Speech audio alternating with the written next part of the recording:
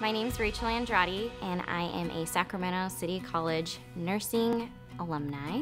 My brother was born with gastroschisis, and my sister was born with uh, a congenital heart defect. It wasn't fun to be in the hospital day in and day out. I think my brother's had a dozen surgeries, and my sister's had about five open heart surgeries. So it's really scary as a sibling, as a family member. I can't imagine what they go through. For my first birthday, my brother was having surgery, and the nurses threw me a birthday party.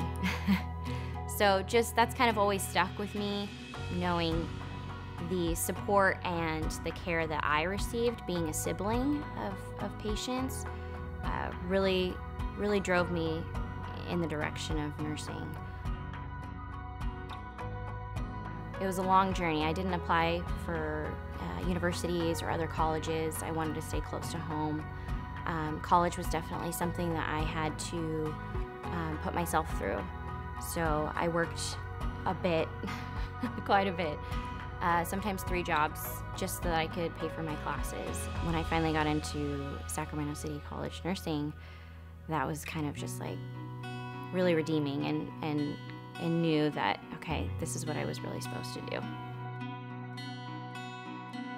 You really have to dedicate yourself if this is something that you want to succeed in. It's really a lot of hard work and time and uh, you kind of lose your social life and a, lo a, lot of people are putting themselves through school or don't qualify for financial aid or if they do qualify for financial aid it's you know you don't realize the amount of money that goes into um, you know your books and all of your studying material and your note notepads and your scrubs and we're struggling a lot of us are struggling and and we're just really trying to you know finish our education and do the best that we can so receiving a scholarship was absolutely life-changing because i mean that paid for half of my licensing fees which you know, is a lot of money.